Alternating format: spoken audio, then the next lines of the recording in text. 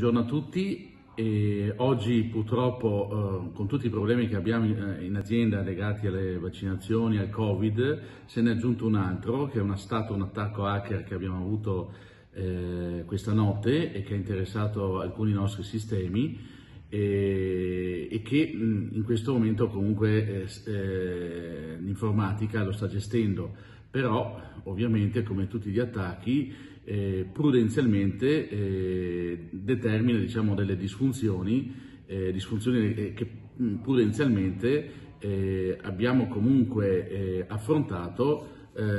di fatto chiudendo appunto tutti i sistemi informatici che mh, potevano e che possono appunto essere stati interessati.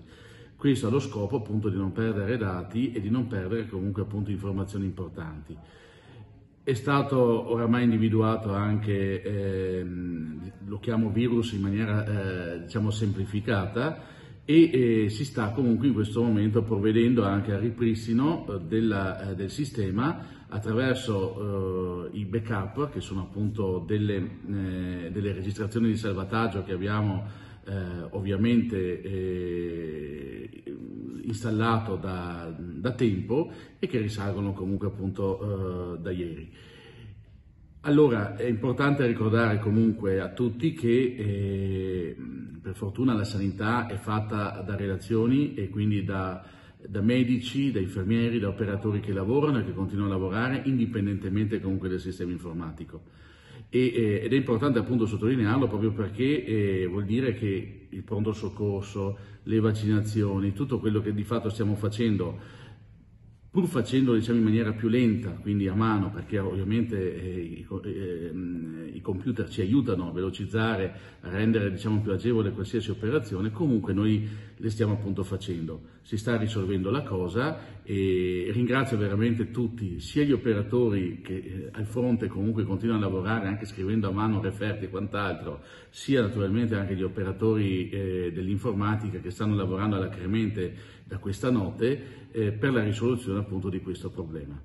Allora ricordo, eh, è importante anche questo, che la, eh, l'attività di vaccinazione, eh, anche di tamponamento e quindi di controllo, soprattutto di tracciamento appunto di nuovi casi, eh, sta continuando. Ed è importante anche ricordare che do, ieri eh, abbiamo raggiunto mh, il numero eh, di 9.000, 9.000 qualcosa vaccinazioni in un giorno, numeri appunto molto importanti, grazie all'aiuto del, non solamente eh, di tutti gli operatori dell'azienda Euganea, ma anche dell'azienda ospedaliera, anche dello IOV, anche dei medici di medicina generale, anche delle farmacie che si sono appunto prodigati tutti proprio per raggiungere questi, questo numero che auspico appunto venga mantenuto nel tempo e che eh, ci possa davvero garantire eh, quella, eh, quel pass di uscita eh, da questa, eh, da, questa, pandemia che diciamo eh, si è un po' rialzata, ha rialzato un po' il tono con la quarta ondata in, questi, in queste settimane.